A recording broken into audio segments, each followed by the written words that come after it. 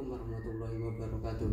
Saya Faizal Muntar Abdillah dari kelas 11 series 2 absen 4 Saya akan menjelaskan tentang penyakit albuminuria. Penyakit albuminuria adalah penyakit akibat ginjal tidak dapat menyaring protein atau albumin. Penyebabnya disebabkan karena kerusakan ginjal yang diakibatkan oleh kurangnya minum sama latihan yang terlalu berat. Gejala-gejalanya saat ginjal masih belum rusak itu tidak terlalu tampak. Namun pada saat ginjal sudah kerusakan ginjal sudah mulai memburuk akan tampak gejala-gejalanya seperti urin berbusa atau bergelembung dan pembengkakan di tangan, kaki, perut ataupun wajah. Pengobatannya ada dua.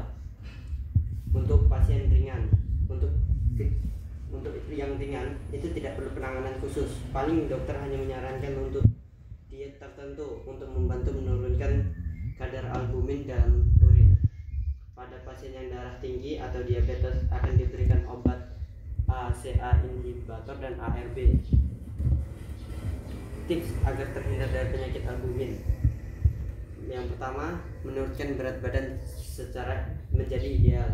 Kedua, hindari makanan yang memiliki kandungan garam atau sodium yang tinggi. Konsumsi jenis protein dan jumlah protein yang tepat. 4. Cukupkan kebutuhan cairan tubuh 5. Menerapkan pola hidup sehat Faktor-faktor yang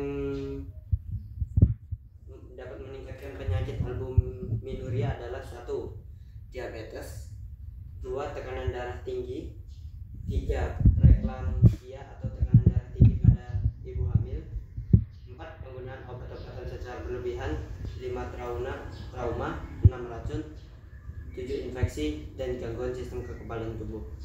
Sekian dari saya. Wassalamualaikum warahmatullahi wabarakatuh.